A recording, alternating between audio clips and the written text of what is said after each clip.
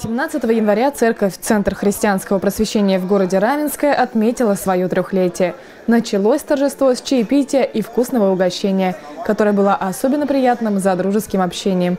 Надо отметить, что в этот день зал собрал более 80 гостей. Не только своих прихожан, но и гостей из разных церквей Москвы и области. Официальная часть началась с поздравлений. Гости из Церкви Слова Жизни в Москве Анна Камазенкова исполнила песню «Ноэль» и вместе со своим супругом поздравила церковь с трехлетием. От Московского центра христианского просвещения в лице служителей церкви супругов Лукьяновых прозвучали поздравительные стихи и благословения, а также христианский рэп от Антона Тимошенко. Дети прочитали стихи ко дню рождения церкви, а небольшая театральная постановка не лишний раз напомнила всем, что верующие – соль земли и призваны ее солять.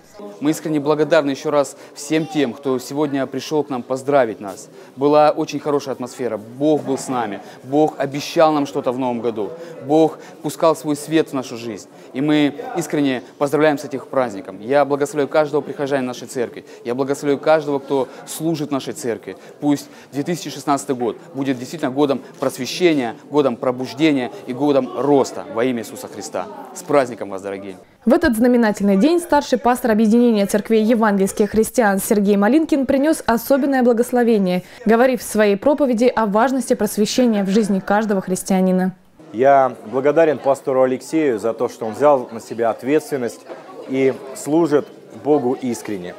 А, я думаю, что у него, как у лидера этой церкви, большие перспективы. Ну а мы, конечно же, ему будем помогать, будем всегда рядом, потому что это одно объединение и одна церковь Христова.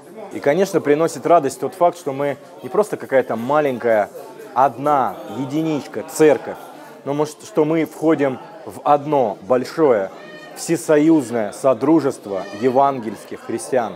И вместе в этом содружестве мы большая сила в Божьих руках. Информационное бюро «Спектр» специально для «Протестант ТВ».